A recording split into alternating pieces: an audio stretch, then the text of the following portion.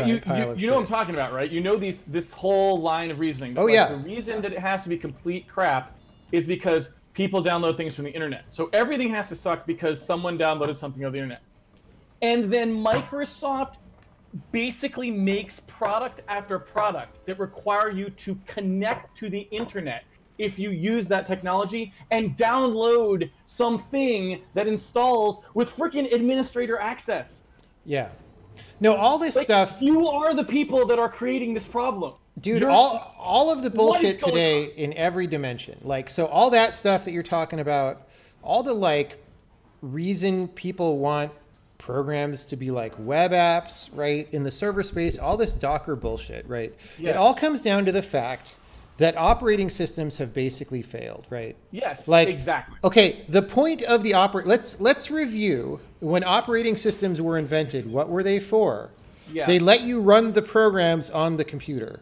Okay. Right. Right. Now look today.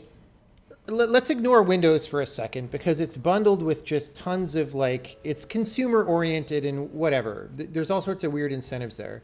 But look at something like Linux that you just like install to like run a server process, right? Yeah. to run a program, how much do you need to install? It's insane. I don't even know how many executables come with a stock Linux distribution, but it's completely like how many processes are running in the background on a stock installation today? Like a lot. To Well, run a program. That's all.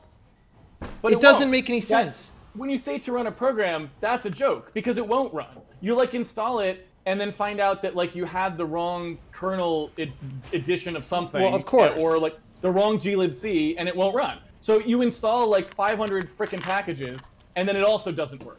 And you're like, great, that's fantastic. Yes, but that's why, and that's why everybody thinks you need more and more and more because it doesn't work without the more and more and more, Casey. So obviously you need more of the same shit that already doesn't work.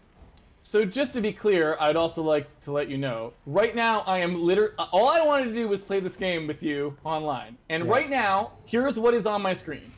It says, "Do you want setup to close your program?" And it says programs to close. Windows phone IP over USB transport. Okay.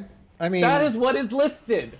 you know, how do you know that I'm not using a Windows phone I with an IP know. address? I don't know.